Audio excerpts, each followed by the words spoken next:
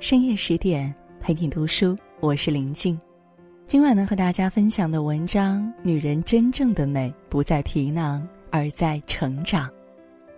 十月十六号，袁泉四十五岁生日，夏雨晒出一张袁泉满脸幸福的照片，并配文：“年年今日，岁岁今朝，安康自在，放心随意，颜值双貌，温柔顺气，自定如如，光彩照人。生日快乐！”精心的措辞让网友感叹：“是真爱了，每个字都是源泉真实美好的样子。”演员伊莎贝拉·福尔曼说：“美丽的相貌和优雅的风度是一封长效的推荐信。”这句话用在源泉身上分外妥帖。袁泉在娱乐圈不是美艳绝伦，却是独一无二。工作中，她全力以赴，演啥像啥，绝不敷衍任何一个角色。生活中，她带娃、追剧、逛街，过着删繁就简、与世无争的生活。在袁泉看来，演戏是演戏，生活是生活。他常挂在嘴边的话就是：“我的日常不需要塑造，真正的生活不需要每天都光鲜。”也正因此，在他身上很少看到浮躁的气息，多的是宁静、从容、优雅。著名导演赖声川曾评价。半世纪以来，她是继林青霞之后最有气质的女演员，而这一切和袁泉热爱读书密不可分。在《朗读者》中，袁泉倾情朗诵一首《牡丹亭》，惊艳了观众，也惊艳了时光。经常有网友拍到袁泉在等孩子上培训班的间隙，手里捧着一本书，一个人默默阅读。郝蕾曾经在《十三邀》里谈到。有朋友说孩子学习不好，你想办法弄到电影学院上学去。但是读不懂书的人怎么能读懂剧本？还要不要说去呈现了？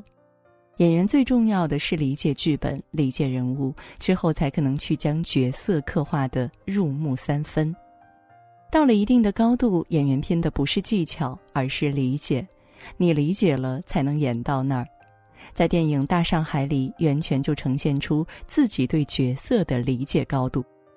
他和周润发饰演一对分开多年的恋人，在相见时各自都有仙人在侧。人前他们假装不认识，打完招呼，袁泉挽着先生的手，转身一个回眸，却诉说出多年的不甘、不舍、疑惑。周润发在采访中说：“这个眼神让我有点接不住。”他是演技实力派。没有读书积累下来的对人生的理解，自然演不出人生的百转千回。在袁泉看来，女人真正的美不在皮囊，而在成长。与其在名利场的漩涡里野心勃勃，不如把注意力转移到自我修炼上。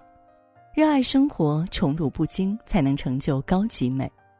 袁泉说：“我们应该都是认真的年轻过的，也期待我们一起认真的老去。”作为女人，没有谁能让自己的容颜永远不老，但如果心态年轻、知性优雅，无论什么年纪都会脱颖而出、闪闪发光。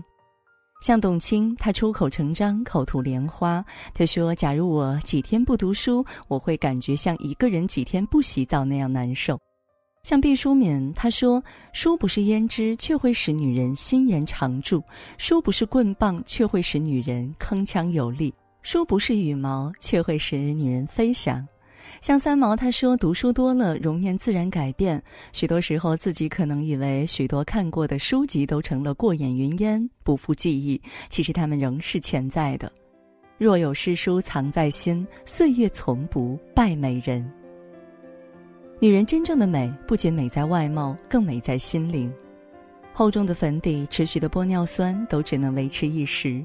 唯有始终对生活有一份热爱，对读书有一份热忱，才能美在气质里，美在骨子里，美在岁月里。张小娴说：“留住一个人的，从来不是卑微，而是活得出色和独立。”现实中，很多女人生活的重心不是围着家庭转，就是围着孩子转，毫无成长可言。很多时候，一味付出，把时间和精力都花在别人身上，反而得不到对方的尊重和认可。当付出成为习惯，别人就会当做理所当然，而停止成长的你，也无法给别人带来新的价值。唯有独立自主，不停止脚步，才能让人刮目相看，久久难忘。而成长离不开读书，你可以在围城中了解，婚姻是一座围城，城外的人想冲进去，城里的人想冲出来，从而更深刻的理解自己的婚姻。在《会赚钱的妈妈》《最富足的投资》等理财大作中，懂得钱不是万能的，但没有钱万万不能，还能帮助孩子从小养成理财观念。在《成功心理学》《人性的弱点》等书中，慢慢的洞悉人性，从而变得高情商、会说话。读书何所求？将以通事理。读书越多，对世界的理解就越透彻，对自己的关照就越通透，对生活也越来越热爱。岛上书店中说：“没有谁是一座孤岛，每一本书就是一个世界。”在读书当中，我们看到了更广阔的世界，也遇见了更好的自己。读书和不读书，真的过的是两种人生。